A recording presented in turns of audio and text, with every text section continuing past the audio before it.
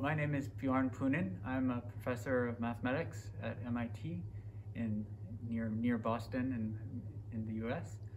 Um, I guess my official title is Distinguished Professor in Science, but I'm not, I don't really do science outside of mathematics. Um, yeah. And I, well, I guess I, I, I mean, I, I was also born in Boston and I grew up around there. And yeah, and I, I went to school at Harvard and then Berkeley, and yeah.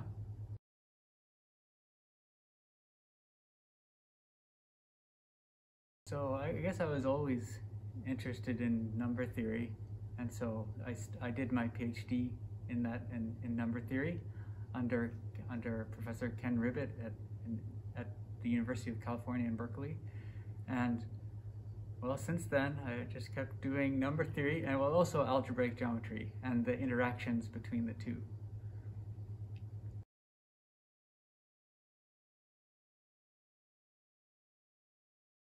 Gerd Faltings is, is of course extremely well known among mathematicians for his work on the Mordell conjecture and on other, other problems.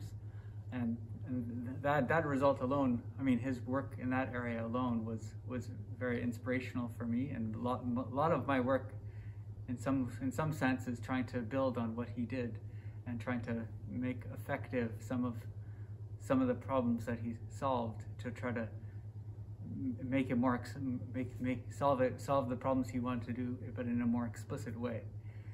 Um, so yeah, so he's so uh, so I mean, it, it, uh, his work has been extremely influential in in in, in my whole in, in all in, in many of the things I work on. I mean, I didn't actually meet him, I think, until after I finished my PhD. I think I met him at some conferences somewhere, and well, he's I don't know. Every every time I meet him, he's been nice to me. So I've, I've I, yeah, so I've, I was very I was very I was very pleased to be able to speak at his at his birthday conference here pleased and honored.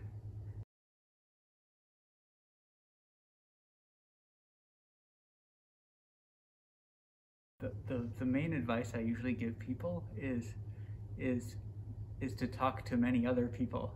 I mean, not just, I mean, not just. Uh, I mean, some, some, some. I think some students have the idea. Oh, if they're if they're being if they're working on a PhD under under me, then they should be just talking with me and just doing doing whatever. Yeah, just.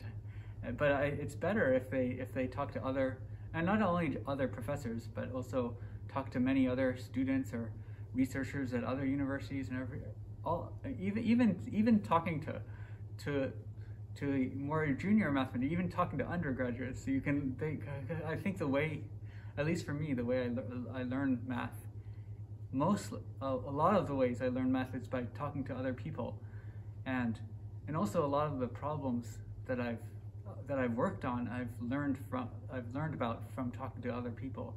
In fact, sometimes it's not even sometimes just from talking to somebody, even if they don't propose a problem, somehow the, in the process of speaking with them, somehow a problem somehow surfaces, and then yeah, and so I, so a lot of yeah a lot of ideas come come that way.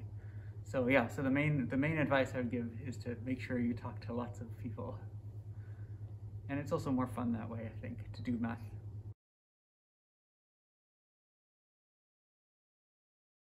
I, I got, yes, I, I guess I always did a little bit of hiking, but I got into hiking a lot more dur uh, during, during the pandemic. It sort of became my main form of exercise.